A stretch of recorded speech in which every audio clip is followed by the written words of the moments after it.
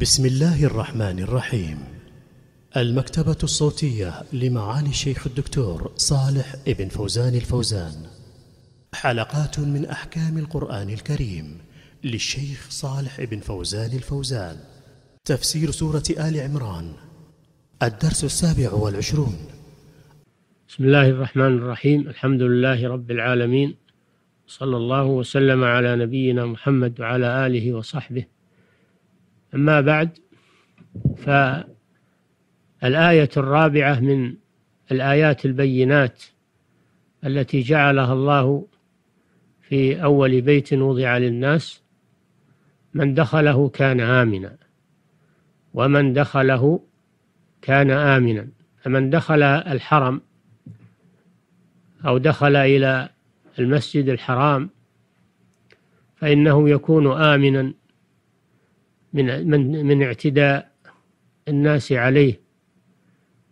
وكان هذا ظاهرا حتى في الجاهلية وفي أيام الشرك والكفر كان أحدهم يلقى قاتل أبيه في الحرم فلا يهيجه حتى يخرج من الحرم. وهذا من آيات الله عز وجل. وقال تعالى أولم نمكن لهم حرما آمنا يجبى إليه ثمرات كل شيء؟ قال سبحانه وتعالى أولم يروا أنا جعلنا حرما آمنا ويتخطف الناس من حولهم؟ أفبالباطل يؤمنون وبنعمة الله هم يكفرون؟ قال سبحانه وتعالى بسم الله الرحمن الرحيم لإيلاف قريش إيلافهم رحلة الشتاء والصيف فليعبدوا رب هذا البيت الذي أطعمهم من جوع وآمنهم من خوف. وهذا استجابة لدعاء إبراهيم الخليل عليه الصلاة والسلام لما دعا ربه وقال رب اجعل هذا بلدا آمنا. قال سبحانه وتعالى وإذ قال إبراهيم رب اجعل هذا البلد آمنا. استجاب الله دعاءه وجعله بلدا آمنا يأمن فيه الإنسان على نفسه وعلى أهله وعلى ماله. حتى إن الطيور أيضا تأمن فيه. فقد نهى صلى الله عليه وسلم عن آه، نهى عن قطع عن قطع شجر الحرم وعن أخذ العشب آه، الرطب. منه واحتشاشه ونهى صلى الله عليه وسلم عن تنفير الصيد في الحرم. فالنبي صلى الله عليه وسلم ذكر بحرمة هذا الحرم عام الفتح وقال إن الله أحله لي ساعة من نهار ثم عادت حرمته إلى يوم القيامة. لا ينفر صيده ولا يختلى خلاه أي يؤخذ منه العشب الرطب. ولا تلتقط لقطته إلا لمنشد. فهذا معنى قوله تعالى ومن دخله كان آمنا هو جاء في سياق الخبر ولكن معناه الأمر أي أمنوا من دخل فيه ولا ولا تعتدوا عليه. فهذه هي الآيات البينات.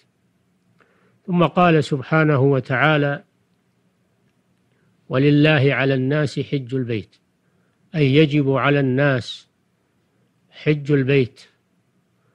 والحج هو قصد البيت لحج أو عمرة تقربا إلى الله سبحانه وتعالى.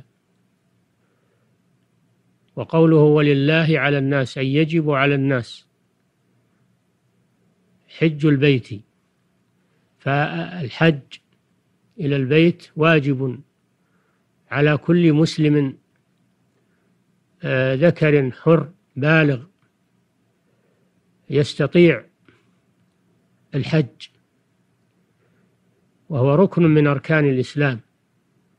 كما قال النبي صلى الله عليه وسلم بني الإسلام على خمس شهادة أن لا إله إلا الله وأن محمدا رسول الله وإقام الصلاة وإيتاء الزكاة وحج البيت من استطاع إليه سبيلا.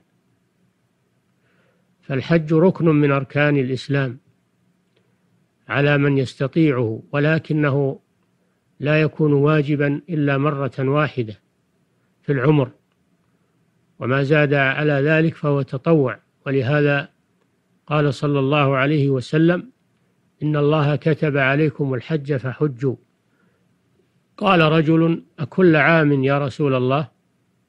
قال صلى الله عليه وسلم لو قلت نعم لوجبت ولما استطعتم. الحج مرة فمن زاد فهو تطوع. وقوله على الناس هذا عام لليهود والنصارى وغيرهم. أن أن الحج واجب على كل الناس. ومنهم اليهود والنصارى الذين أبوا أن يعترفوا بهذا البيت وأن يحجوا إليه مع أنه هو البيت الذي بناه إبراهيم الذي ينتسبون إليه وأنه أول بيت وضع للناس ومع هذا لا يعترفون به. ولا يستقبلونه في صلواتهم. وقد أمر الله باستقباله وأمر بالحج إليه وأمر بالطواف به وشرع الاعتكاف عنده. كلها عبادات عظيمة تتعلق بهذا البيت. وهذا من دين إبراهيم التي يزعم اليهود والنصارى أنهم يؤمنون به. ودلت هذه الآية على أن من لم يحج فإنه كافر. قال تعالى ومن كفر فإن الله غني عن العالمين وهذا دليل قاطع على كفر اليهود والنصارى. وهذا من جملة هذا ليس هو الوحيد من أدلة كفرهم ولكن هذا من أعظم أدلة كفرهم. عدم اعترافهم بهذا البيت وعدم قبولهم لما يتعلق به من أحكام مع أنه بيت الله والذي بناه هو إبراهيم الذي ينتسبون إليه. وإلى الحلقة القادمة بإذن الله لنكمل الكلام عن هذه الآية إن شاء الله. السلام عليكم ورحمة الله وبركاته.